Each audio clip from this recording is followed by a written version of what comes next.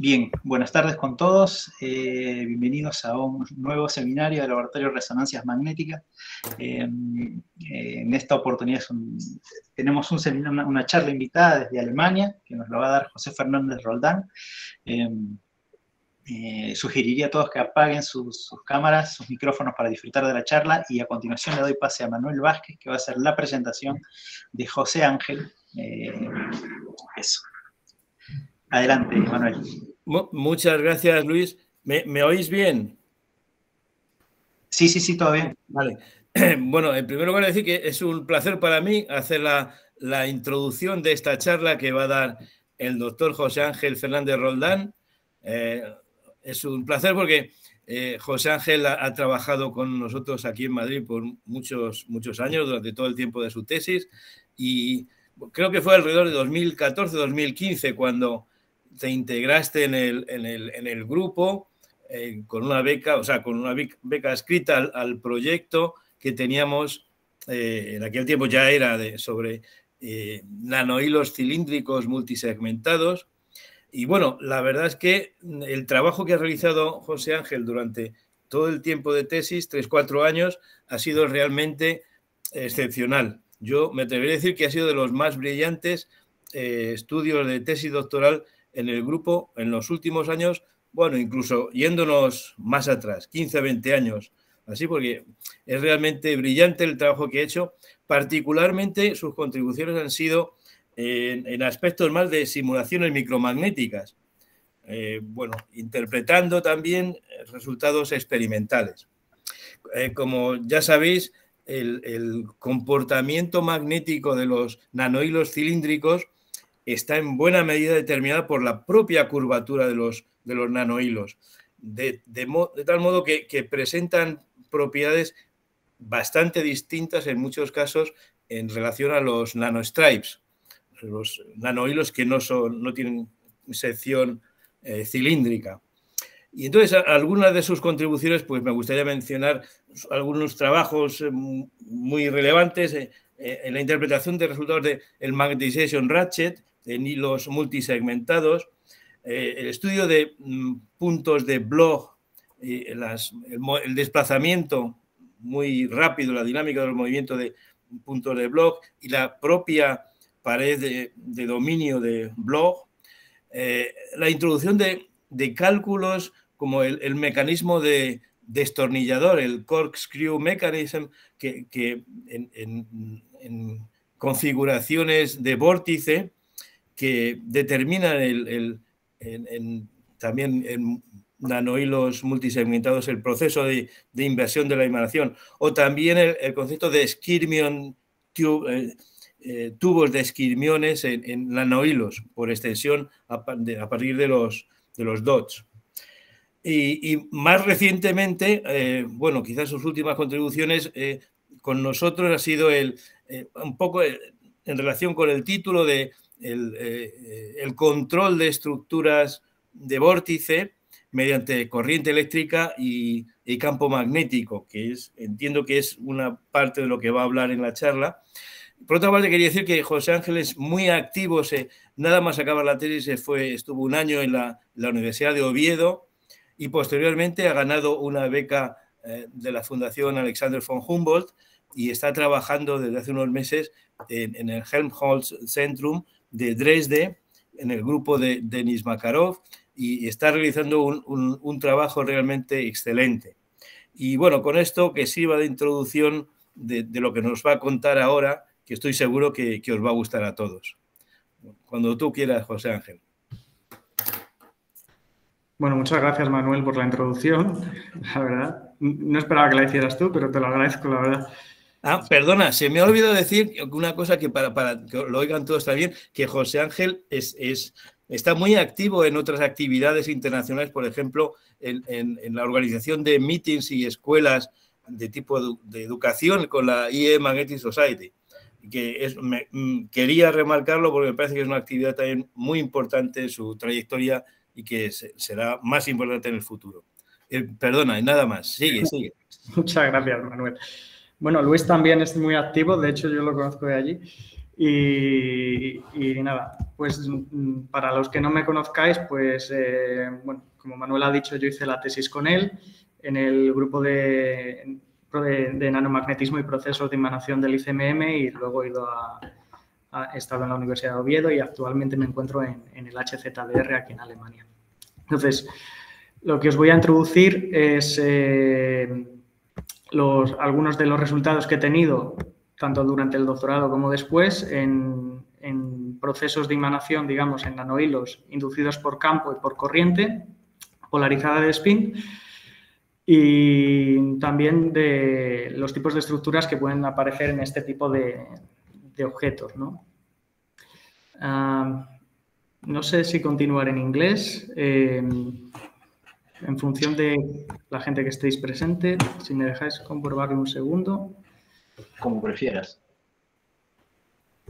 Vale, pues em, bueno, ya que, ya que lo grabamos, pues lo, voy a continuar en español si nos importa, aunque lo he preparado en inglés. Bueno, dejadme que os muestre un esquema de, la charla. Voy a empezar hablando un poco de las aplicaciones y las ventajas de los nanohilos cilíndricos para, para estas aplicaciones. Después, una segunda parte tiene que ver con la dinámica de la emanación inducida por corriente por campo en estos nanohilos. En particular, hablaré de cómo se pueden controlar los vórtices, que son estructuras que aparecen de forma natural en estos objetos. Y luego me centraré en la propagación del block point porque em, puede alcanzar velocidades muy altas que, son interesantes para el desarrollo de aplicaciones eh, de, de dispositivos de espintrónica y nanoelectrónica.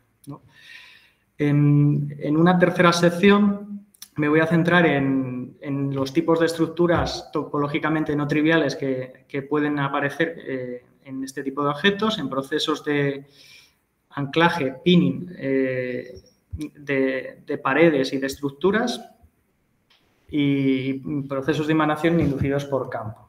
Aquí hablaré de algunos de los resultados que ya se ha mencionado Manuel, del efecto Ratchet, por ejemplo, o del mecanismo corkscrew pinning o sacacorchos, por ejemplo, que me parecen bastante interesantes. Em, dejadme que empiece a contaros un poco cuáles son las principales aplicaciones de los nanohilos cilíndricos. Em, como sabéis, muy recientemente, en 2001, en 2021, la comunidad espintrónica ha llamado la atención y la urgencia de la investigación de conceptos de memorias alternativos que puedan eh, dar solución a la demanda actual de dispositivos mm, con mayor capacidad y mayor velocidad que requiere la industria. ¿no? Entonces, una de las memorias alternativas de los conceptos que podría em, eh, ser una respuesta a este tipo de demandas es lo que se llama la memoria ratchet, una memoria magnética que consiste en un tren eh, de diferentes nanoestructuras, por ejemplo, nanostripe o nanohilos cilíndricos, en los que podemos tener diferentes paredes de dominio magnético. Aquí, si os fijáis, estas flechas amarillas lo que representan es la dirección de la emanación. Aquí apunta hacia abajo, aquí hace un dominio donde apunta hacia arriba, hacia abajo, hacia arriba, etcétera, y así de forma periódica. Y entre medias tendríamos lo que sería una pared de dominio. La ventaja de este tipo de dispositivos es que se podrían utilizar corrientes polarizadas de spin para desplazar las paredes a lo largo de las vías del racetrack eh, con un menor consumo energético, o sea, dando una respuesta a, las necesidades de sostenibilidad que tienen que tener las nuevas tecnologías que se desarrollan. Otro tipo de aplicaciones que son interesantes para nanohilos son los chips integrados de las nanoarquitecturas. Este es un ejemplo de un chip eh, basado en diferentes nanoestructuras para el, Internet de las cosas, Internet of Things. ¿Vale? Aquí podéis ver tetrapods que se llaman, que consisten como una serie de ensamblajes de nanohilos que tienen cuatro patas. En esta, en esta columna, perdonad, ¿veis el ratón? Sí, sí, se ve. De acuerdo. Si quieres, si quieres puedes también este, ocultar la barra que está abajo, eh, ah. donde sí, dale en ocultar simplemente. De acuerdo, no la veía. Listo, gracias. Estupendo, gracias. Eh, estos son pilares de nanohilos o, o nanopilares o hilos multisegmentados y aquí veis dos cámaras que contienen partículas y una tercera cámara. la, función de los nanohilos en este tipo de, microchips es el control del flujo de estas nanopartículas entre las dos cámaras y una tercera cámara para realizar operaciones lógicas. Otras aplicaciones son, por ejemplo, en, cabezas lectoras de, discos duros y sistemas de almacenamiento donde nanohilos multicapa de eh, cobalto-cobre, por ejemplo, pueden usarse como sensores eh, eh, de la cabeza lectora, bueno, aprovechando pues la magnetoresistencia gigante. Otras aplicaciones son en, ciencias de la vida, en, bioaplicaciones y en el ámbito sanitario, por ejemplo, aplicaciones de hipertermia para el tratamiento de cánceres bastante agresivos. aquí la idea es introducir o más bien internalizar nanohilos o nanopartículas dentro de las células, tanto cancerígenas como sanas, aplicar un campo magnético alterno, calentar el sistema a una temperatura entre 42 y 45 grados y en ese rango de temperatura eh, las células carcinogénicas tienen una tendencia a sufrir una apoptosis, un suicidio celular mucho mayor que las células sanas. O sea, las células sanas son más proclives a resistir ese rango de temperatura durante eh, tiempos más prolongados, de manera que se tiene un ataque selectivo. Otras aplicaciones biológicas pues, serían de descontaminación de agua, procesos catalíticos, eh, es un, amplio, es un mundo muy amplio. Hay otro tipo de aplicaciones como por ejemplo sensores y actuadores. Este es un ejemplo muy sencillo y muy ilustrativo en el que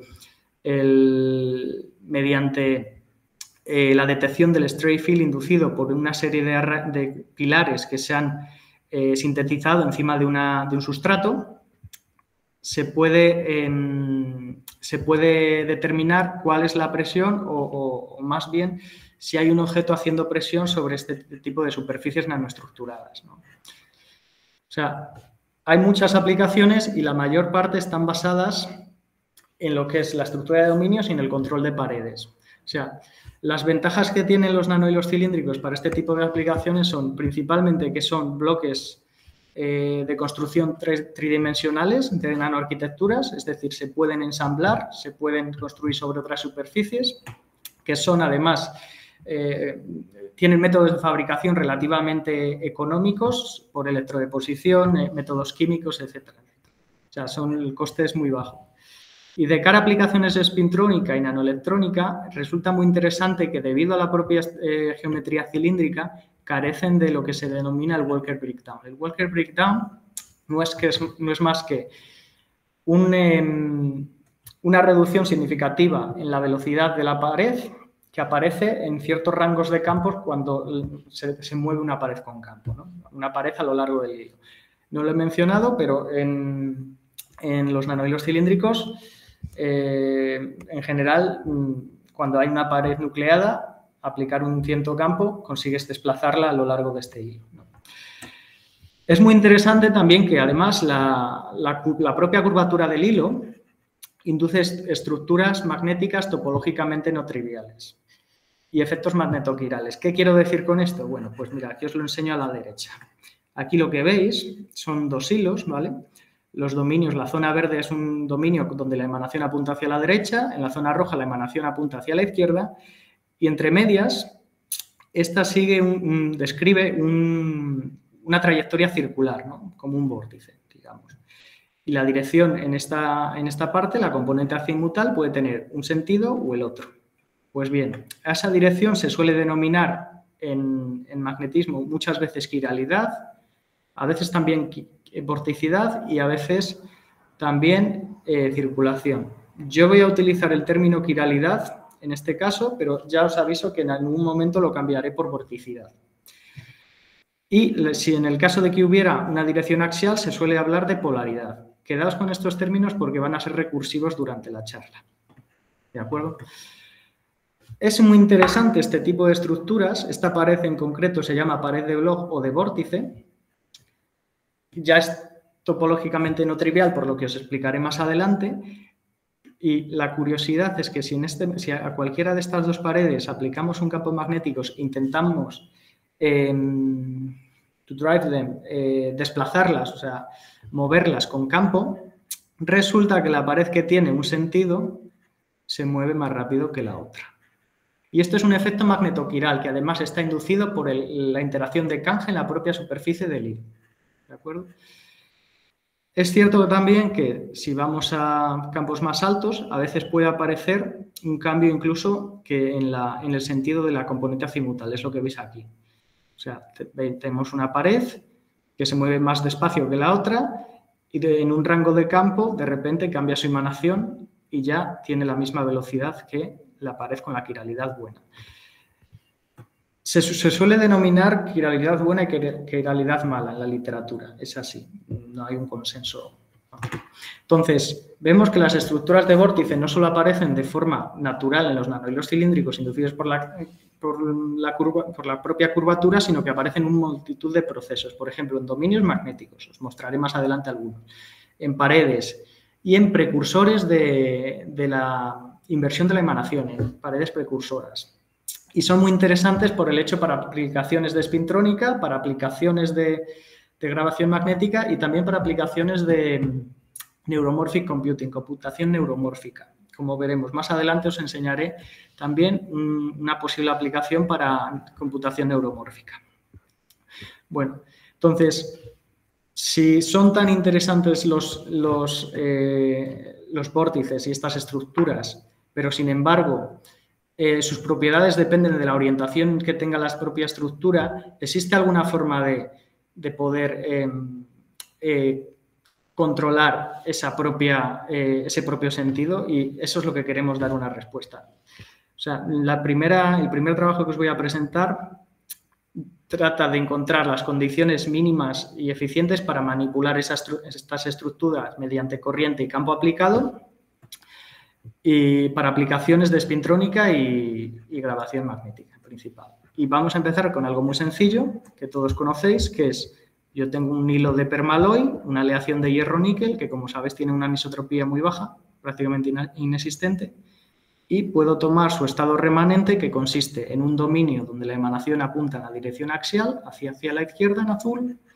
y en los extremos, no se ve muy bien aquí, pero os he pintado unas secciones, tenemos unas estructuras de vórtice. Estos son los extremos de cierre, los dominios de cierre del nanohilo, ¿vale? Eso es un tipo de estado remanente usual. Como veis, puede tener una orientación que vamos a llamar anticlockwise y otra orientación que vamos a llamar clockwise, en el sentido de las agujas del reloj o en el sentido contrario. Mm, es irrelevante que en este caso sean estas las he, escogido para preparar un estado inicial, pero podríamos tener las dos iguales. Pues bien, ¿qué ocurre cuando aplicamos un pulso de corriente a estos hilos? Bien, para estudiar la interacción de la corriente con la emanación, vamos a tener en cuenta diferentes términos. Podéis encontrar los detalles en el artículo aquí. Dejadme que os escriba eh, por encima vamos a considerar el, spin transfer torque, la transferencia de torque eh, mediante San-Lee, que es un término usual, es una generalización del Slochensky, ¿vale? Y además el campo Orsted, que normalmente no se tiene en cuenta cuando se simulan eh, se simula dinámica inducida por corriente en nanoestructuras. Se suele obviar y se, se sabe ya que tiene una contribución muy fuerte y particularmente mucho más en nanohilos cilíndricos y parámetros usuales de permaloy. Para que os hagáis una idea, el experimento sería una cosa así, un experimento de dinámica usual. Tenéis un nanohilo, le hacéis unos contactos, ponéis una densidad de corriente J, esta induce un campo Ørsted, un campo inducido por la propia corriente, y a mayores podéis aplicar un, eh, campo externo, un campo aplicado. Y dejadme que os enseñe un ejemplo de lo que ocurre sin campo. Inicialmente teníamos el estado que os indicaba, emanación axial y dos vórtices, ¿no?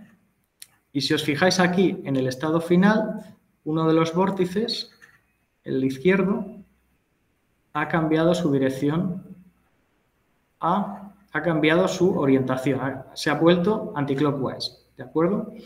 Luego, mediante corriente, debido al campo Orsted, es posible cambiar la emanación. ¿Cómo? Bueno, es mucho más complejo porque además Ya no, es un dominio axial, sino que, como vemos, los vórtices se han propagado de cada extremo hacia el interior, adquiriendo una cierta eh, quiralidad en toda la superficie del hilo, mientras el núcleo permanece emanado en la emanación inicial, eh, en la dirección inicial. Esto es debido a la, propia eh, inhomogeneidad del campo Orsted, que es mayor en la superficie que en el interior del hilo.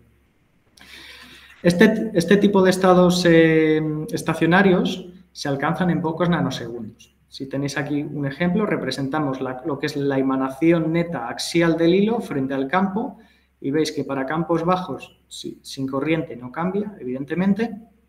Si empiezo a aplicar corriente, pues parece que hay un cierto cambio de la emanación, se reduce y hay un salto entre, creo que es 5 y 6 militeslas, perdón, 6 y, 7, 10 a la 11 amperios por metro cuadrado, en el que cambia bruscamente la emanación. Hay un cambio, hay un transitorio y hay algo diferente. Bueno, pues se alcanza un estado estacionario que una vez que retiremos el campo dejará la estructura tal cual. Para, para, entender un poco mejor lo que pasa, vamos a representar cuál es la emanación remanente en el hilo al aplicar campo, ¿de acuerdo? En función de la corriente aplicada.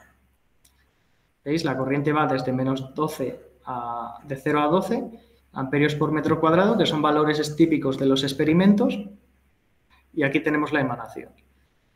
Si aplicamos corrientes bajas menores que 6 eh, por 10 a la 12 eh, amperios metro cuadrado, vemos que en el estado remanente no ha pasado nada y sin embargo, al aplicar campo en un sentido, corriente en un sentido, por ejemplo, lo que fomentamos es que el vórtice que tiene el mismo sentido azimutal que el campo Orsted aumenta su dirección, aumenta, se propaga a lo largo del hilo, puede llegar a alcanzar ya casi el centro del hilo, mientras que el vórtice que tiene el sentido opuesto reduce su longitud y queda prácticamente confinado en un extremo del hilo.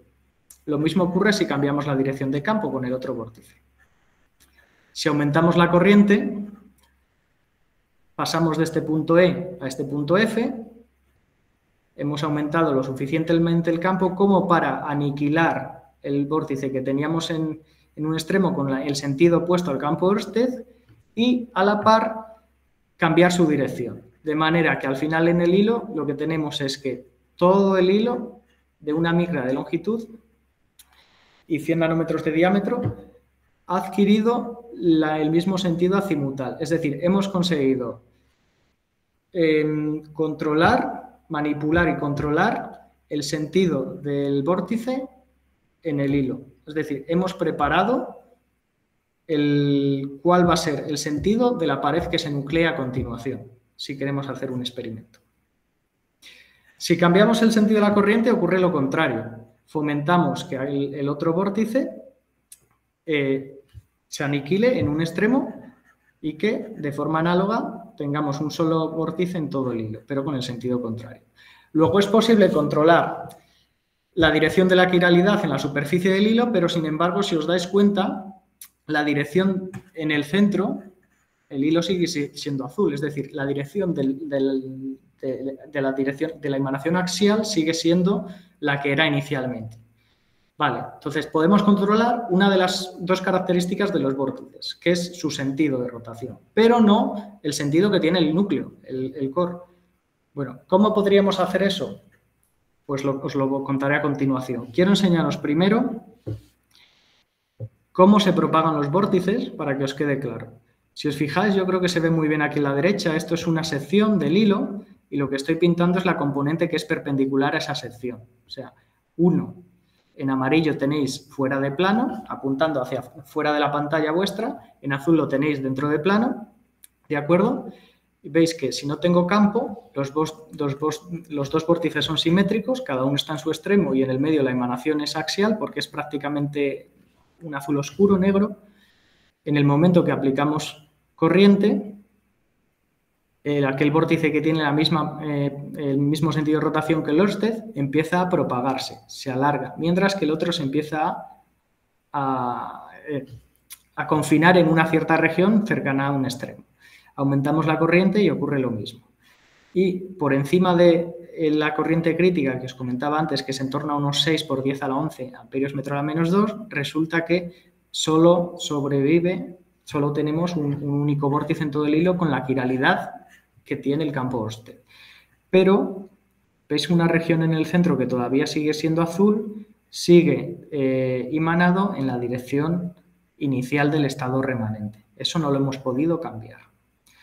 Bueno, podemos extraer cuánto se propaga cada vórtice, por si, por si es curioso, y lo interesante es que además en cuanto aplicamos campo hay una propagación muy rápida, que pasa prácticamente de tener una longitud los vórtices de unos 200 nanómetros a tener longitudes, a extenderse 400 nanómetros, prácticamente media micra, casi una micra, se, han, extendido a lo largo del hilo, o sea que es, que es, que es significativo.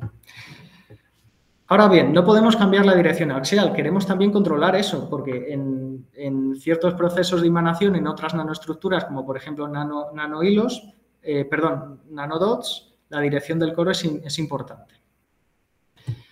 Bueno, pues es posible hacer eso, pero requerimos la aplicación de un cierto campo. Yo os hablaba de que la dirección del eje se llamaba polaridad, y que su sentido se llama vorticidad, circulación o quiralidad, dependiendo de lo que veáis en la literatura. En este caso yo lo he utilizado vorticidad por, para diferenciarlo mejor. Si os fijáis en este diagrama que os pinto aquí, lo que represento son en un eje la corriente aplicada y además estoy asistiendo el hilo con un cierto campo externo. ¿De acuerdo? Lo que vemos eh, con, a campos bajos es el esquema que os he contado antes, que te necesitamos una corriente mínima para conseguir cambiar el, para mm, colocar el, los mismo, el, mismo, un único vórtice en todo el hilo, con sentido clockwise o con sentido anticlockwise. Y a corrientes bajas tenéis los dos vórtices, son estos puntitos negros. Yo creo que lo vais a ver mejor aquí.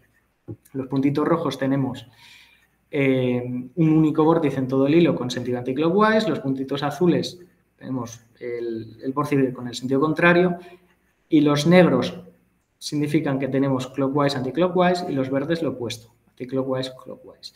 Si os fijáis, lo importante es que asistiendo con un cierto campo, vemos que sin corriente necesitaríamos lo que sería el campo coercitivo para cambiar la emanación axial, pero si asistimos con, con un cierto campo y además aplicamos corriente, reducimos el campo necesario para conseguir invertir la emanación y además que si la corriente es lo suficientemente alta podemos escoger cuál queremos que sea el sentido de la emanación por el campo Orsted.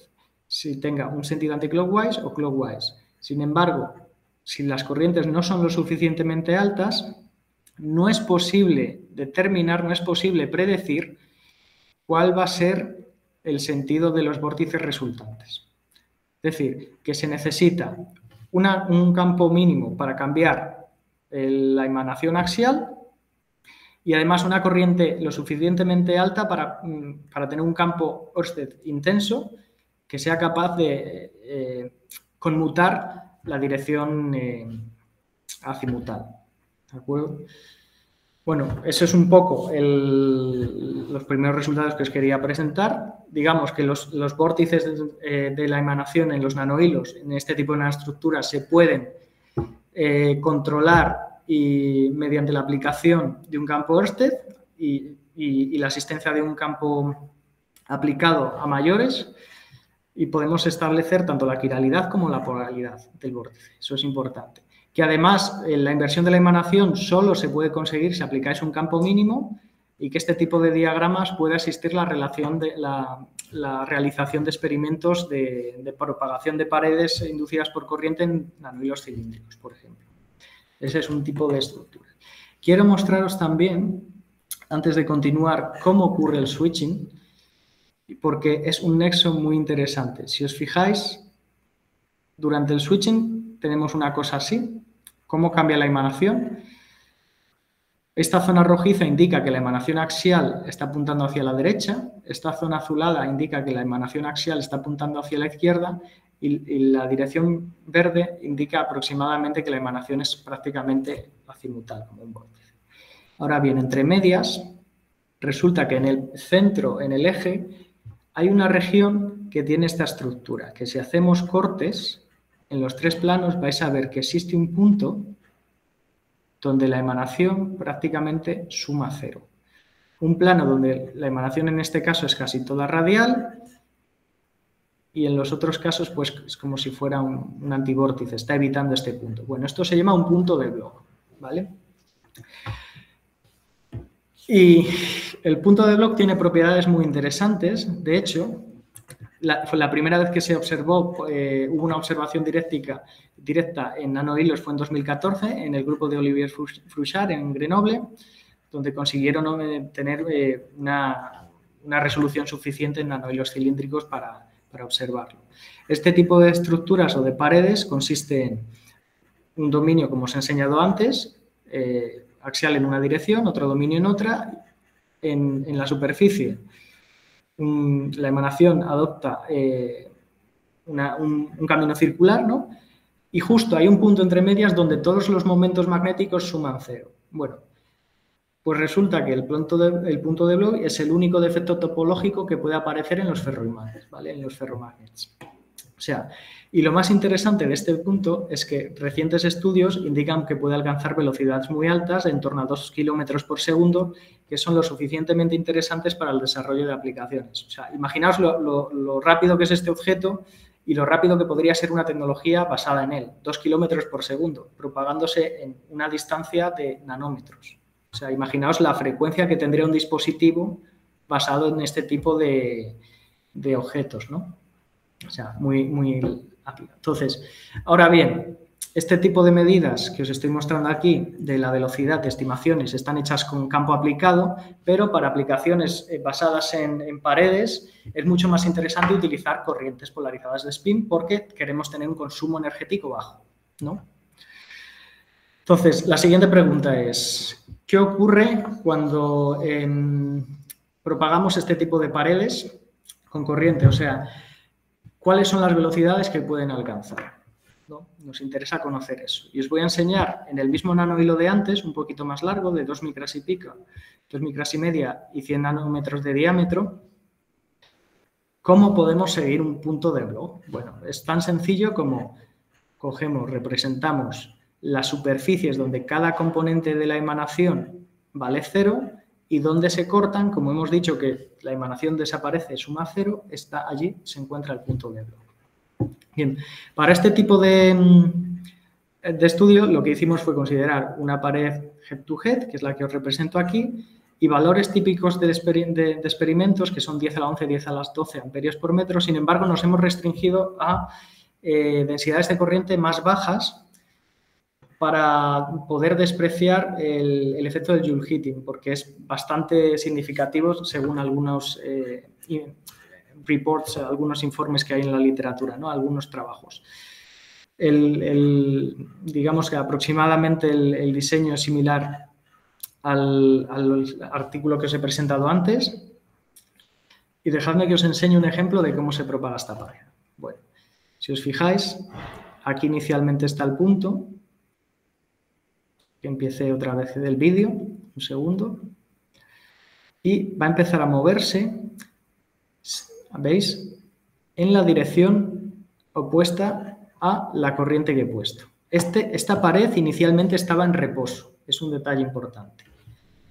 Y tiene la misma quiralidad, es decir, el sentido de la emanación de la pared en la superficie es el mismo que el campo Orsted, o sea, se propaga en la dirección opuesta. Luego ya tenemos un primer resultado que los puntos de blog que, eh, que, se encuentran inicialmente en reposo se mueven, si tienen la quiralidad buena, en la dirección opuesta a la corriente. Ahora bien, esto no siempre es así, es mucho más complejo. Si vamos a corrientes altas, aquí lo que vemos es la posición del punto de bloque en función del tiempo. Es cierto siempre que eh, el punto de bloque se va a propagar en la dirección opuesta a la corriente. Tanto si aplico corriente en un sentido, en el sentido positivo o lo aplico en el, en el sentido negativo, hacia abajo. O sea, si aplico hacia abajo, veis que se propaga hacia arriba, si, si aplico la corriente hacia arriba, se propaga hacia abajo, siempre en la dirección contraria. Sin embargo, cuando vamos a corrientes más bajas, resulta que solo se puede propagar aquel punto de blog que tiene la misma quiralidad, el mismo sentido que el campo Ørsted, mientras que el otro está anclado. Bueno, esto todavía no lo, o sea, está sin publicar, pero mm, ya os puedo decir que es debido a que el propio campo Ørsted puede inducir el pinning también. O sea, hay un efecto de, eh, de pinning inducido por el campo Ørsted. Ahora bien, ¿cuáles son las velocidades que puede alcanzar este objeto mediante corriente? Bueno, pues si, si, extraemos la velocidad y la representamos aquí, vemos que inicialmente esta aumenta con la corriente de forma lineal o cuasi lineal y a partir de un cierto valor de corriente mm, de unos 2,5 por 10 a la 11 amperios metro, no muy alto, vemos que la velocidad cada vez es más baja, ya no aumenta tanto al aplicar corriente. Esto es debido a que Em, el propio movimiento se vuelve ineficiente al aumentar la propia, el propio espacio que ocupa la pared en el hilo debido al campo Ørsted. El propio campo Ørsted está ensanchando la pared y esto promueve un, movimiento más ineficiente de la propia pared. Luego vemos que no se pueden alcanzar velocidades tan altas como, como en el caso de block points inducidos por corriente. Ahora bien, no es la única forma de que aparezcan los block points, o sea, eh, en este tipo de nanoestructuras. Es una pared que aparece de forma natural, pero es que hay otras paredes en los nanohilos y aquí os enseño otra que aparece este nanohilo de níquel. Por cierto, no lo he mencionado, pero escogemos níquel porque es muy resistente a la oxidación. ¿De acuerdo? Es un material muy resistente a la oxidación y por tanto es eh, idóneo para, experimentos de propagación de, de paredes en. Este tipo de pared que os muestro aquí se llama una pared de vórtice-antivórtice y consiste en lo que tenéis aquí. Un dominio donde la emanación apunta a la derecha, otro hacia la izquierda y en la superficie presenta una estructura de vórtice en un extremo y en el extremo opuesto, en el lado opuesto, una especie de antivórtice. La emanación se coloca así. Entre medias, en esta región gris, la emanación puede apuntar hacia afuera o hacia adentro. Veis que es una estructura bastante compleja y además tridimensional. Por eso hablamos de que existen estructuras eh, topológicamente no triviales. Es bien sabido que la dinámica de esta pared eh, se suele transformar en un punto de blog y con corriente. Eso ya se ha sabido, es un, en un artículo de Showitz del grupo de Fluchar, ya lo vieron antaño, pero no han estudiado nunca su dinámica. Y aquí os lo enseño, ¿veis? Aplico corriente y inmediatamente un block point se inyecta desde la propia superficie donde había un vórtice ¿Lo veis? Y se desplaza, curiosamente, en sentido, en el sentido de la corriente, al contrario que antes. O sea, aquí hay algo que está pasando. Veis que siempre la, dinámica de la emanación de, estas estructuras siempre va acompañada por emisión de spin waves, de ondas de spin. ¿De acuerdo? Entonces, ¿qué le ocurre en este caso? Bueno, hay una diferencia fundamental y os voy a enseñar efectivamente que siempre se, que se puede propagar este block point tanto en el sentido de la corriente como en el sentido contrario a la corriente. Sea, veis que en este caso el block point puede, puede propagarse en los dos sentidos. Mientras que cuando el block point estaba inicialmente en reposo, no. Siempre se propagaba en la dirección contraria a la corriente. La gran diferencia que hay aquí es que este block point, una vez que se ha creado, ya lleva un momento inicial. Tiene un momento inicial porque se, ha creado en un proceso dinámico, o sea, ya llevaba una cierta inercia. ¿De acuerdo? Entonces, esa es la gran diferencia. Entonces, para resumir, los puntos de block eh, prenucleados en reposo se, propagan en la dirección opuesta a la corriente con una cierta velocidad que, se puede, que es suprimida muchas veces por el campo Ørsted si la corriente es lo suficientemente alta. Y además que el momento inicial que lleva la propia pared, el, punto, el propio punto de blue, juega un papel en la dinámica que no se ha visto hasta ahora y que además requiere mucha más investigación para el tipo de aplicaciones en spintrónica y en, grabación magnética. ¿De acuerdo?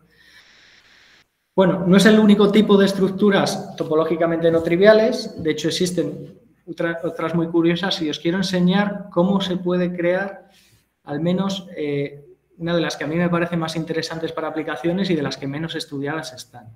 Entonces, voy a enseñaros cómo se puede anclar un nanohilo, una de las estrategias que hay, perdón, cómo se puede anclar una pared, que es muy interesante para, para, las aplicaciones de grabación magnética como el Racetrack Memory, ¿no? Y una de las formas de hacerlo es hacer modulaciones geométricas. O sea, cambiar la geometría del hilo. Podemos diseñar un hilo que tenga segmentos más anchos y más estrechos de forma periódica.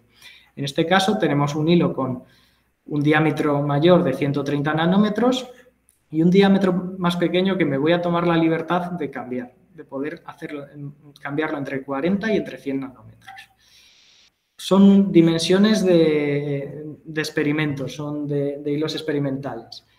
A mayores, algo que siempre se suele, mm, que no se suele tener en cuenta en, estructuras, en, nanoestructuras y modelización es la propia microestructura cristalina de los hilos. Y es muy importante realmente, como vais a ver. Como os voy a mostrar. Bueno, pues lo que voy a enseñar es cómo podemos anclar una estructura a un vórtice en estos hilos para ciertas aplicaciones en función de, de, la microestructura y de los diámetros. Y me centro en un material que tiene una emanación de saturación muy alta porque también va a tener una forma muy alta este hilo, que es interesante. Algo muy sencillo que podemos hacer es evaluar el ciclo de histérisis.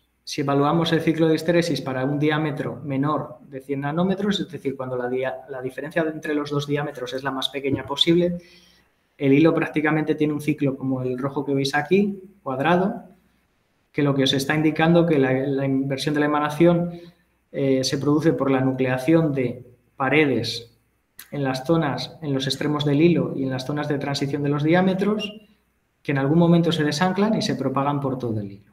Porque hay un solo Barhausen jump, un solo salto de Barhausen. Cuando reducimos este diámetro, vemos que el proceso se vuelve más complicado, pero esencialmente es el mismo. Y cuando lo reducimos mucho más, hay un anclaje mucho más fuerte, que es muy evidente porque reduce bastante la emanación hasta que se consigue invertir. Vamos a centrarnos en qué ocurre en este tipo de puntos, los puntos justo antes del salto. Bueno, pues en ese tipo de puntos lo que se aparece, podéis consultar más detalles en el, artículo en Nanoscale, eh, es una estructura como la que os enseño aquí. ¿De acuerdo? En rojo tenéis, la está coloreado por la componente axial de la emanación. Veis que hay una especie de tiras de colores en la superficie. Los segmentos estrechos quedan esencialmente emanados en la dirección inicial que tenía el hilo porque son em, tienen un, campo de switching más alto que los segmentos eh, gruesos, ¿de acuerdo? Y si hacemos unos cortes, unas secciones a estos segmentos mayores, lo que vemos es una estructura de esta forma que os quiero interpretar con este dibujo que tenemos aquí. Si os fijáis, la parte roja es la emanación apuntando en la dirección del eje del hilo, la parte azul es la emanación apuntando en la dirección opuesta al hilo y entre medias la emanación está rotando. Bueno, pues esto es un esquirmión de tipo blog, que se llama. ¿De acuerdo? Eh, la primera vez que se vieron eh, esquirmiones en, hilos fue en este artículo de Chariló, sin embargo, él los vio durante el proceso de inversión y no fue capaz de, estabilizarlos. Esta es la primera vez que se consigue estabilizar estos tubos en hilos de forma teórica y además se, consiguen anclar. El proceso de anclado es debido a, este confinamiento geométrico que hemos hecho. Es importante resaltar aquí que este tipo de estructuras está inducida genuinamente por la geometría circular del hilo y que no hay eh, ninguna interacción de tipo Chalosinsky-Morilla, a diferencia de otras estructuras como pues, láminas de cobalto platino, etcétera es una estructura inducida única y exclusivamente por la geometría del hilo y, la energía magnetostática y el cambio. ¿De acuerdo? Lo más interesante es que el mecanismo de, anclaje de estas estructuras, si os fijáis en el núcleo, está desplazado, no es axial, no está en el eje. Bueno, eso nos está mostrando que adopta una forma como esta que tenéis aquí, un helicoidal, que es, muy semejante a la que tendríamos acá corchos, un corkscrew. ¿De acuerdo? Entonces, este mecanismo de anclaje lo bautizamos como corkscrew, eh, en el que las cargas, los polos magnéticos que hay en volumen, se tienen que redistribuir y de esa manera adopta mm, esta forma compitiendo con el canje. Ese es el motivo por el que no es un núcleo esencialmente recto por el propio confinamiento. A posteriori hay unas medidas de MCM y unas medidas de, efecto Kerr magneto óptico que os mostraré que sugieren que este tipo de estructura pueden de hecho estar formándose en hilos modulados de hierro cobalto. Hay una publicación de Eider Berganza el, año pasado en el que muestra unas imágenes de, MFM, que es, una técnica que bueno, no es tan estándar, pero que ya lleva muchos años usándose, en el que muestran el contraste en la superficie del hilo a lo largo de una línea para diferentes campos. Y de repente, cuando empiezan a en cualquiera de las regiones, por ejemplo aquí a la izquierda, van cambiando el campo, van aumentando, aumentando, aumentando el campo y hay una región en la que desaparece el contraste. esta desaparición del contraste la escriben a este tipo de estructuras porque tendría un stray field muy bajo, al ser la emanación mayoritariamente axial. Es uno de los artículos que sugieren una evidencia de este tipo de estructuras. Otro es más reciente, del año pasado, de Javier García, de Oviedo, en el que tienen unas medidas de nanomoque que ven compatibles con una estructura de tipo Skirmion también en un hilo bisegmentado. Es decir, que en este artículo se comprobó que además no hace falta tener un, confinamiento tan extremo para formar este tipo de hilos, sino que simplemente con un hilo bimodulado, una sola modulación, ya es posible tener una estructura de este tipo. Mm, todavía no hay una confirmación directa y es debido mayoritariamente a que se necesita una resolución lo suficientemente alta para poder ver los tamaños del core, que es del orden de unos 20 nanómetros, como, en el mejor de los casos. O sea, son, son tamaños pequeños. Es una estructura eh, potencialmente yo creo que interesante para, aplicaciones de espintrónica que está poco investigada, pero hay otros efectos en nanohilos que son muy interesantes. Y uno de los que me parecen más eh, interesantes para el desarrollo, por ejemplo, de Swift registers, registros eh, de desplazamiento, es el efecto ratchet. El efecto ratchet o trinquete. un ratchet, un trinquete, no es más que un dispositivo que es capaz de propagarse solo en una dirección pero no en la opuesta. Y en física se suele representar, por ejemplo, con un potencial. Es un potencial, una pelota que puede ir cayendo en una dirección, pero no puede ir subiendo la escalera de nuevo, porque requiere un coste energético mayor. Mm, este tipo de efecto aparece en muchos sistemas, en grafeno bicapa, arrays de antidots, sistemas coloidales. Eh, no es exclusivo del magnetismo, existen multitud de sistemas físicos. Y en particular en magnetismo, eh, se ha visto, por ejemplo, también en nanostrips eh, moduladas en diámetro. Aquí os enseño un ejemplo donde un nanostrip donde han hecho unos noches y unas medidas de, resistencia. Pueden ver que hay una pared que se está anclando en diferentes noches. ¿no? Veis que hay un salto, otro salto. Como digo, lo característico es que la propagación se va siempre en un sentido. Ese es el efecto Ratchet. ¿De acuerdo? Entonces, para estudiar si este tipo de efecto es posible en nanohilos, lo que hicimos es decir, bueno, vamos a intentar inducir una simetría en el propio hilo, diseñando un hilo multisegmentado de hierro, cobalto y cobre, donde los segmentos vayan aumentando su longitud. Dado que el campo de switching de los segmentos es mayor a medida que aumentas las longitudes hasta un cierto valor en el que prácticamente satura. En general va aumentando de segmento a segmento. Esa es un poco la idea que había detrás. Hicimos las simulaciones. Este es un resumen. En el artículo podéis encontrar más información. El hilo sería una cosa así. Los, segmentos de cobalto eh, fueron simulados como vacío porque no es ferromagnético, aunque el cobalto puede ser, no recuerdo si para o día, pero sería una cosa así. Como veis, el color rojo os indica que la emanación tiene sentido hacia la izquierda, el azul hacia la derecha. Y veis que a medida que cambio el campo, el, proceso de inversión siempre empieza en los segmentos de menor longitud y se propaga hacia la derecha, siempre hacia la derecha.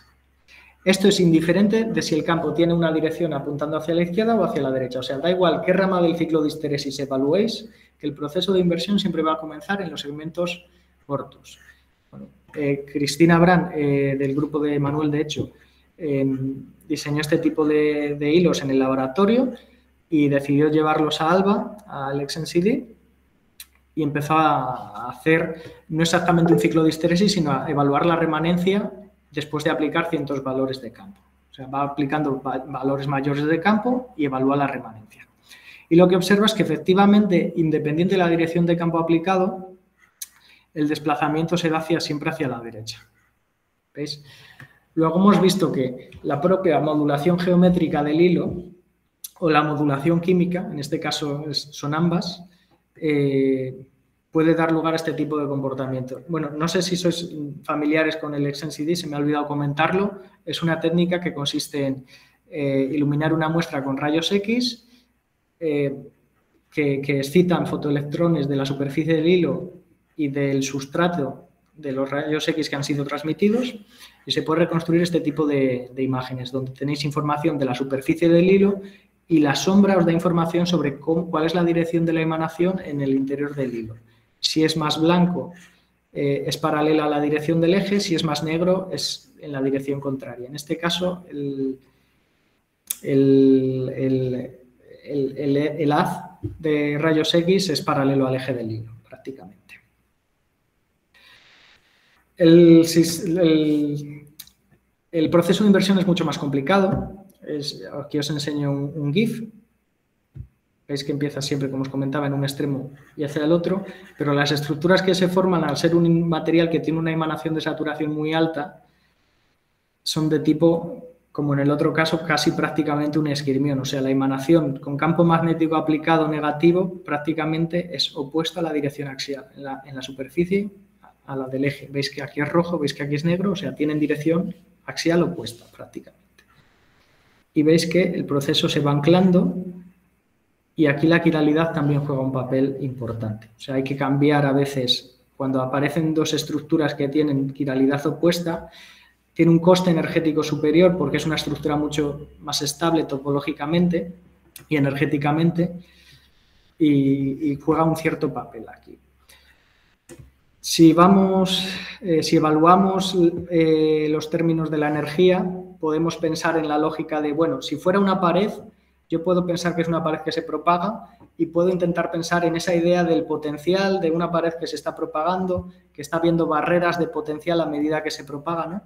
Entonces, si consideramos todos los términos de lo que sería la propia energía de la pared, que tendría en cuenta la magnetostática, tendría en cuenta el canje y tendría en cuenta la anisotropía, que en este caso es baja, se podría despreciar, podemos representar eso frente a la propia emanación del hilo, que es casi como la, la emanación axial del hilo, la emanación neta del hilo es casi como la, posición que tendría una pared hipotética a lo largo del hilo, ¿verdad? Entonces, en esa idea de una pared puntual, si representamos la energía interna, vemos que adopta una forma como la que os enseñaba antes de un potencial ratchet. Luego, efectivamente, este efecto es un efecto ratchet, que está inducido por la la modulación geométrica y el confinamiento del hilo. Si a mayores le añadís la energía del campo aplicado, pues ya veis que los mínimos que teníais ya, ya no son mínimos porque la pared se está propagando.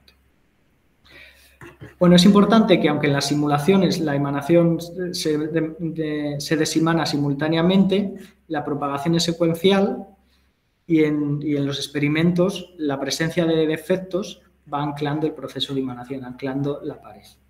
O sea, ese es de las, uno de los procesos más interesantes que yo he visto así en ellos. No es el único. O sea, los nanóhilos cilíndricos tienen estructuras de emanación muy, muy, muy interesantes para, para el desarrollo de, de, aplicaciones, sobre todo ahora que está, que, que, está tan en, en, auge lo que es el nanomagnetismo tridimensional. ¿no? Y uno de los materiales más ricos son los materiales basados en cobalto, porque el cobalto HCP tiene una anisotropía que, es prácticamente perpendicular al hilo y que compite con la, propia forma del hilo. Bueno, un ejemplo son los hilos bisegmentados que os voy a enseñar aquí, de cobalto 85, níquel 15 y níquel. Son segmentos eh, periódicos, ¿de acuerdo?, de una micra de longitud de níquel y entre 600 y 1400. Vamos a ir cambiando. Tenemos tres tipos de hilos con segmentos de diferentes tamaños de cobalto níquel. Lo que se observaron en estos hilos en XMCD, en dicroísmo magnético circular en ALBA, es que cuando los segmentos de cobalto níquel eran cortos, de unos 600 nanómetros, Este tipo de estructuras tiene un contraste blanco y negro, que os voy a enseñar ahora cómo sabemos que son vórtices.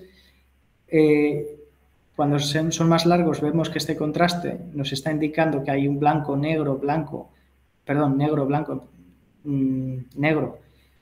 Y aquí en el hilo vemos blanco, negro, blanco, pero también tenemos un solo vórtice aquí, aquí tenemos, es algo más complejo que este, pero esencialmente son muy similares.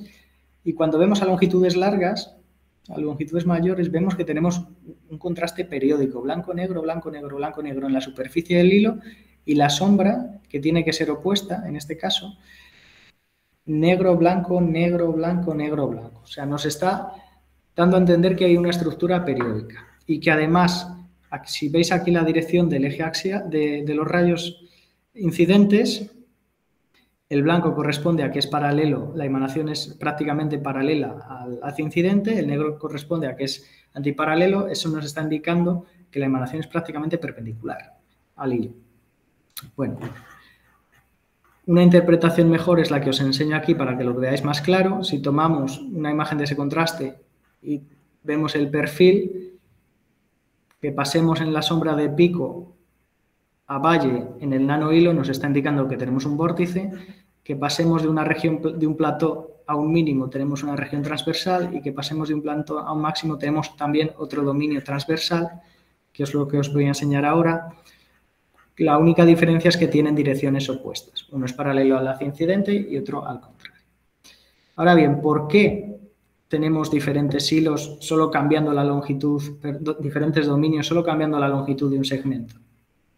Bueno, no lo he dicho, pero este tipo de estados son metastables, es decir, tienen energías muy similares en este material y, podéis encontrar, no sé si le he puesto aquí la referencia, en un trabajo previo de, de Cristina, el, el, origen de este tipo de estructuras. En, este caso, lo interesante es que... Eh, eh, José Ángel, disculpa, es que no sé, igual piensan ir acabando, porque ya son las 8 ya. Bueno, ya, ya termino, vale, aquí... Está bien, está bien. ya termino. Eh, Vale, pues en este caso vimos que prácticamente la razón principal de que, se, eh, de que surgiera uno o dos hilos, perdón, uno o varios vórtices era la longitud del segmento de cobalto-níquel. Eh, a mayor longitud hay más espacio para nuclear vórtices, para, para, para, que sea energéticamente sostenible con el segmento de níquel prácticamente axial y manado axial. Y en el caso de que em, apliquemos campo en la dirección del eje fácil del hilo, que eso puede ocurrir fácilmente cuando el hilo está depositado en un sustrato, aparecen, aparecen dominios transversales. Aquí lo que os está mostrando es la emanación en la dirección hacia afuera o hacia adentro de la pantalla. Veis que es un dominio transversal. Bueno, aquí podéis encontrar el artículo que os indicaba anteriormente, donde podéis ver más información al respecto. Y ya entro, voy con lo último que os quiero presentar y con esto termino. Y es mm, otra aplicación que a mí me parece muy interesante de los nanohilos para computación neuromórfica. Os he hablado de que los, vórtices son estructuras que aparecen en estos eh, hilos de forma natural, pero uno de los retos que hay es controlarlos. Entonces, otra forma que se ideamos para intentar controlarlos es inducir una asimetría en la propia estructura de los hilos, eh, como, veis en este caso. Veis que podemos hacer hilos segmentados, como os enseñé antes, pero en este caso introducir un tilt, un pequeño ángulo, para que cuando aplicamos campo en un sentido o en otro, quizás el proceso de inversión no sea similar, sea, haya una cierta asimetría. Cogimos un material que conocemos bien, hierro cobalto, como os decía antes, y podemos empezar con un estado donde haya vórtices diferentes. Estos colores, eh, azul o amarillo, se están indicando el sentido del vórtice, si gira en un sentido o en el otro. ¿De acuerdo? Amarillo es anticlockwise y azul es clockwise. ¿Vale? Veis que hemos preparado un estado inicial con diferentes vórtices e incluso alguno con dos. Pues bien, en, una, eh, si vamos al proceso eh, magnético, cuando aplicamos campo y retiramos campo en esta dirección, en la dirección em, del EGI que, mantiene la simetría del sistema, porque no es...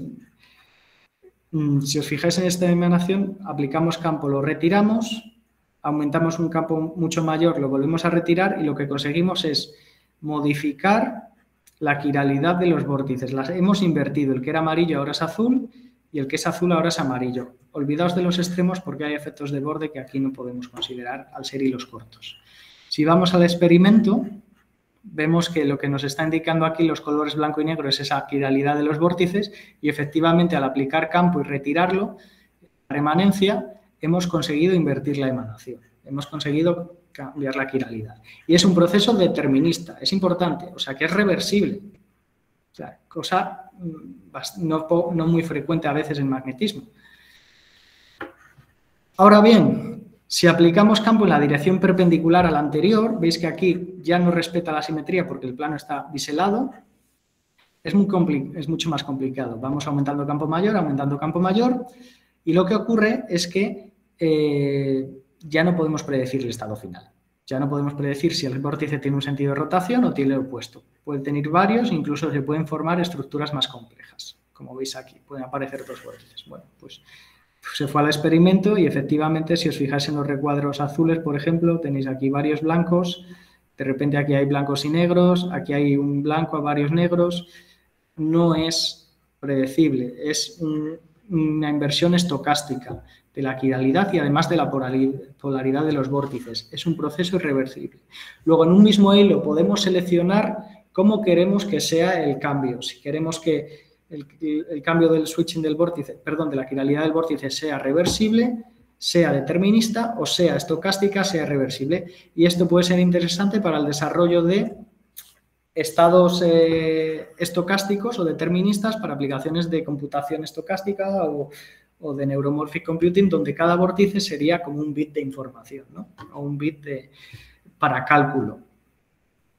Bueno, con esto termino y dejadme que os eh, presente eh, bueno, un, evento que estamos organizando, Luis también está involucrado, que es la, la IEEE Around the Clock, Around the Globe, que es una conferencia para estudiantes totalmente gratuita, para estudiantes, postdocs, jóvenes investigadores y que todo el mundo puede asistir. Es gratuita completamente y online, tendrá lugar el 31 de agosto y actualmente están abiertas las, el Call of Abstracts hasta el 12 de junio. Ya tenemos confirmados los invited speakers, sabemos que van a haber premios, eh, el año pasado fueron sustanciosos de casi 400 dólares, incluso algunos, para que os hagáis una idea. Y eh, la experiencia del año pasado fue muy positiva porque tuvo algunas eh, bueno, novedades respecto a otras conferencias online, como por ejemplo el uso de GatherTown, que dinamizó mucho la sesión de póster, por ejemplo. Si vais a la página web de la IEEE, en conferencias podéis encontrar más información. Y nada, muchas gracias por vuestra atención y muchas gracias por, todo y, y que me haya dado. Gracias, José Ángel. Voy a quitar esto porque no os veo, si no luego lo pongo. Ok, ok. Muy linda la charla, a mí me gustó, muy didáctica. tienes un montón de resultados, todos relacionados a la parte de dinámica de magnetización en, en nanohilos. Eh, me gustaría abrir la sesión a preguntas. Yo tengo algunas preguntas, pero si alguno más quiere comenzar, eh, bienvenido. Eh, pueden levantar la mano virtual o, o, levantar, o preguntar directamente en la sala.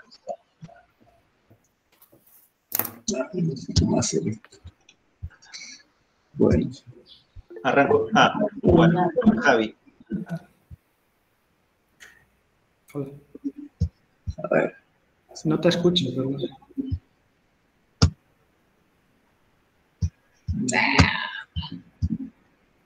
A ver. No te estoy escuchando. Ahí, habla. Sí, ahora, sí. Ok, muchas gracias. Muy interesante la charla. Tengo una, una duda general, por el básica, y por otro lado tengo una consulta. ¿El código que usaste para simular todo esto es el, el UMAX, UNS o códigos propios? A ver, he usado... Sí, perdón, sí te dejo terminar primero. Y la otra pregunta era...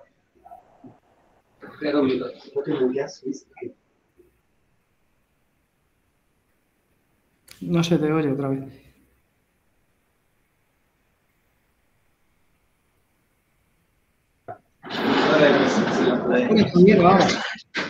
Bueno, la otra pregunta tenía que ver con, en hilos planos, habitualmente está el Walker Breakdown, y en el, régimen estacionario o el régimen precisional existen distintas movilidades. Lo que quiero saber es si uno hace un hilo cilíndrico que tenga dimensiones características, donde no está el Walker Breakdown, si la velocidad y la movilidad que se observa en ese tipo de hilos es la que se parece a la movilidad más alta del régimen estacionario o a la movilidad más baja del régimen precisional asintótico. ¿Se entiende la pregunta? Ah, ¿La entiendo? ¿No A ver, bueno, eh,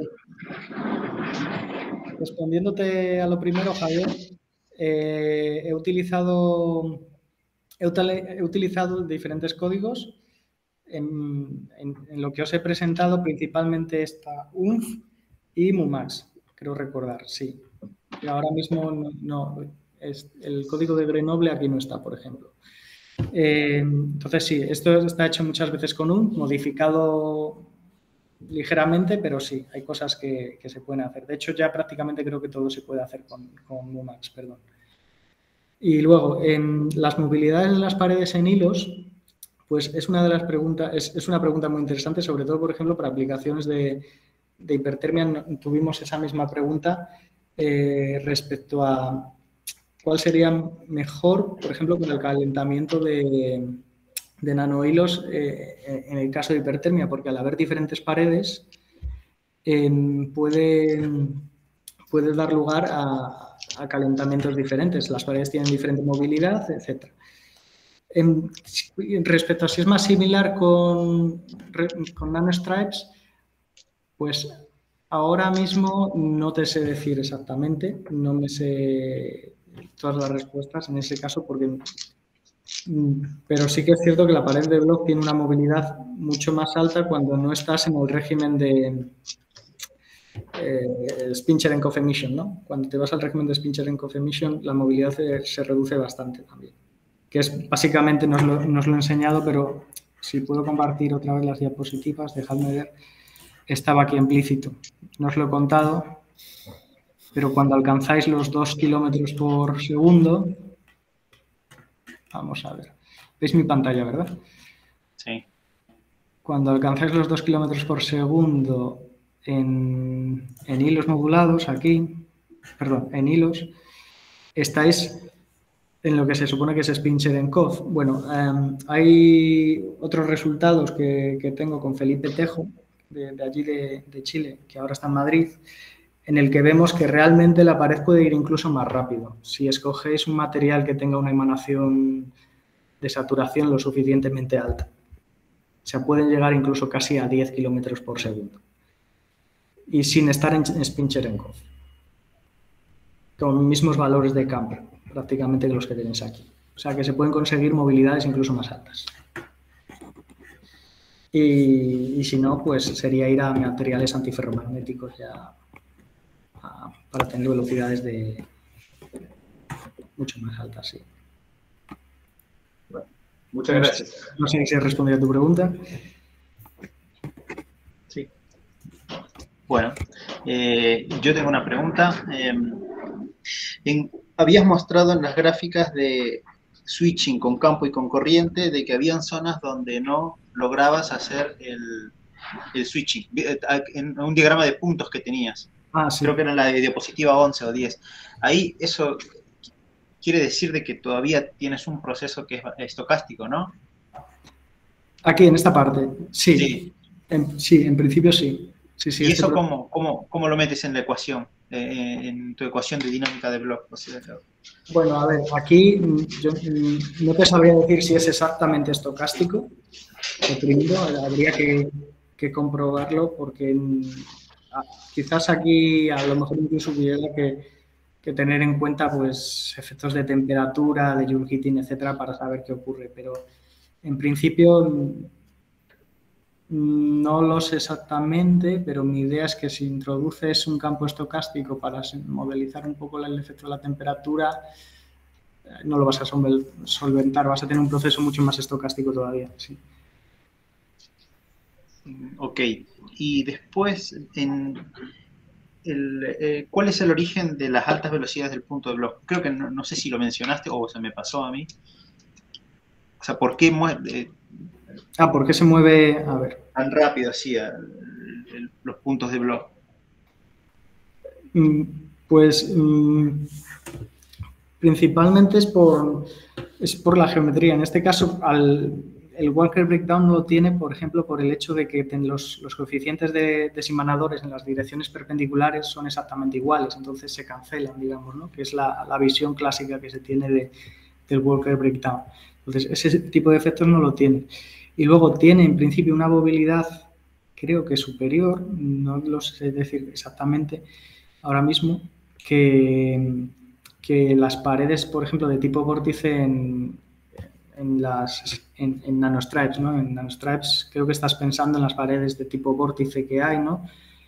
Entonces, en este caso, el punto de blog, si os das cuenta, también por su propia estructura cierra las líneas de campo. O sea, tenéis una serie de, de simetrías que lo que hacen es aumentar de alguna forma la movilidad. Ok, ok. Pero es, una consecuencia de la distribución de la magnetización. básicamente. Sí. y de la geometría del Sí, sí, sí. O sea, hay, hay blockpoint en, otras estructuras, por ejemplo, en caps curvados o en, nanostripes, etcétera. O sea, no, no es una cosa característica solo de hilos, pero la blockpoint wall surge de manera natural en, esta, en este tipo de nanohilos.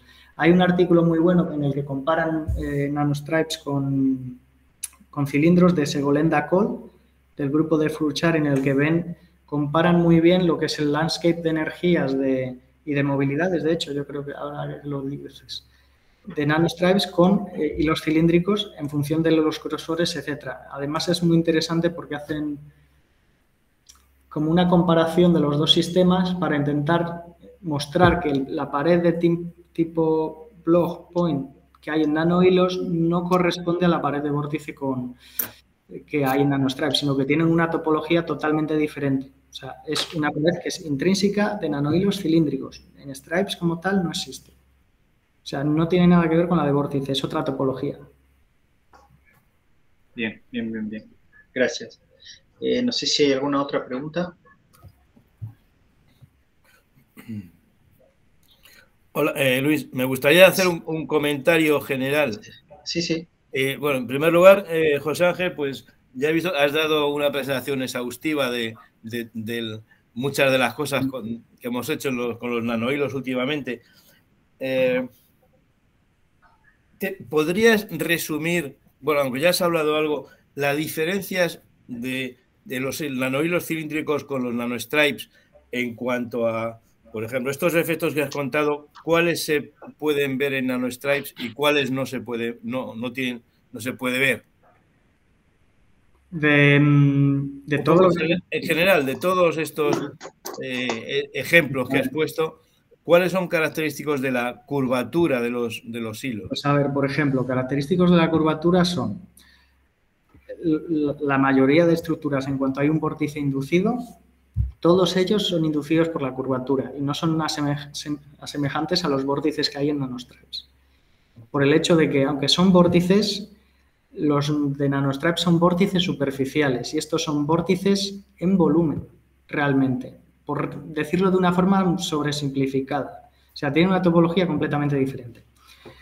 Eh, eso ya les confiere de por sí estructuras diferentes.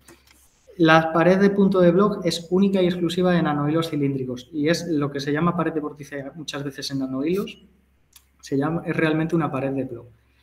Los efectos del campo Orsted son mucho, mucho mayores en, las paredes de en los nanohilos, porque es por el hecho, por la propia geometría, respeta la dirección del campo Orsted también, se adapta mejor.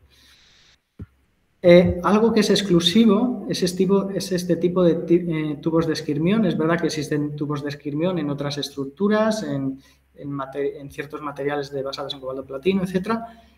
pero así en todo el volumen en el propio hilo, inducido por la curvatura, solo se da en nanohilos cilíndricos. El ratchet puede darse en otros sistemas, como os he enseñado, con, efectos de, em, de modulación geométrica se puede conseguir en stripes, etc.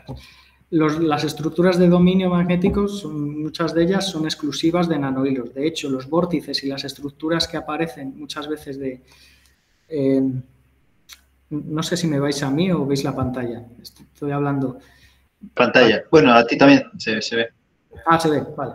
Entonces, no lo he mencionado, pero eh, otro de, los resultados que hay en el tema de los tubos de esquirmión es que en el momento que aparecen dos estructuras de vórtice, dos vórtices, dos dominios de vórtice, por decirlo así, o sea, aquí los dominios no tienen ya emanación uniforme, sino que el propio confinamiento de la nanoescala hace que, haya que generalizarlos y tener estructuras mucho más complejas, tener texturas que se llaman, ¿no? Entonces, cuando vamos aquí a, antes de tener esquirmiones tenemos incluso vórtices. Bueno, pues en ese tipo de estructuras se forman paredes entre los vórtices, paredes que son tridimensionales, que tienen una topología muy compleja. De hecho, uno, de los resultados que, mm, hemos enviado hace poco a publicar tiene que ver con eso. Y es que ese tipo de estructuras son exclusivas de este tipo de hilos. Se asemeja mucho a la pared esta de vórtice-antivórtice que os he mostrado antes y son sumamente complejas. Y es un sistema que parece muy simple, pero la propia curvatura está induciendo eh, estructuras que tienen una topología muy, muy compleja ya de por sí y que es difícil analizar. Por eso hay que recurrir a técnicas tan, tan avanzadas que puedan acceder al volumen, como el XMCD o cosas así. Vale, vale, muy bien, muy bien, gracias. Gracias, Manuel. Eh, bueno, no sé si hay alguna otra pregunta. Si no, Carlos. no, no, no, abrí el micrófono, pero para saludar más que nada. A mí me quedó una duda una dudita, eh, que, cuando invierte la magnetización de hilos queda un núcleo invertido. ¿Es así, José, o yo entendí mal los dibujos? Sí, este, sí, ¿en cuál me estás diciendo? Luego del vórtice, digamos, te queda un núcleo invertido. ¿Y, cómo es que queda algo este, pateando en contra dentro del hilo? Llama la atención. Ah, porque estamos en el estado, porque no he retirado la corriente. Ah. estoy enseñando el estado antes de retirar la corriente. Ah. Para que quede bien marcado. O sea, te refieres a este tipo de figuras, ¿no? Sí, sí, sí, Claro. Efectivamente, en el, propio centro del hilo, el campo de Orsted es, es nulo. Entonces, eh, aunque aquí ha introducido, bueno, algunas cosas para romper la simetría, esto es así. O sea, eh, a veces se puede introducir pequeñas asimetrías, un, pequeño, un pequeño cubo que tenga una cierta anistropía para romper la simetría del hilo, o un pequeño, el, propio campo aplicado siempre le pongo un cierto ángulo insignificante. Pero esto es, propio del propio campo Orsted. O sea, por eso os decía que es que el, campo Orsted es inhomogéneo y eso hay que tenerlo en cuenta. O sea, no tiene, es cero en el eje y es máximo en la superficie. Entonces, lo que hace es que inviertes muy fácilmente la emanación en la superficie, pero en el, centro no. Entonces, en el momento que retiras la corriente, mm, va a respetar relativamente, si retiras la corriente de forma eh, lenta, es decir, que es lo usual en un experimento, baja, cuando, cuando apagas unas, unas coils, ¿no? No baja rápidamente, sino que baja más o menos suave, tiene una especie de transitorio. Entonces, eh, estás dándole tiempo a la emanación a ir adaptándose al campo más bajo, de alguna forma. Entonces, sí que puedes mantener la emanación axial en un sentido y eh, la emanación azimutal que has seleccionado. O sea, sí, lo has, interpretado correctamente esto. O sea, queda así, pero porque tienes corriente aplicada en estas imágenes. Claro. Ajá, y es máxima en, el, entorno del hilo, claro. Es máxima en, el eje, sí, y es cero prácticamente, en este caso, en este caso es cero ya, la corriente es muy alta y es cero en la superficie. O sea, en la ah. superficie es prácticamente azimutal, como un vórtice. Bueno, de hecho, a lo mejor, no sé si lo tengo aquí. Es una cosa así, un poco más exagerado que esto. ¿No? Ves que aquí tiene una componente azimutal y en el centro sigue siendo axial. La, escala de colores engaña un poco, ¿vale? Porque es azulado, pero, pero es una cosa así. Bueno, muchas gracias de nuevo, José. Gracias, José, por, la charla. Estuvo muy linda. Eh, y eres, eres bienvenido a compartir tus resultados cuando quieras con nuestro grupo. Muchas gracias este, a vosotros por invitarme. No, no, por favor. Contrario. Bueno, este, doy por terminada la sesión del seminario. Gracias.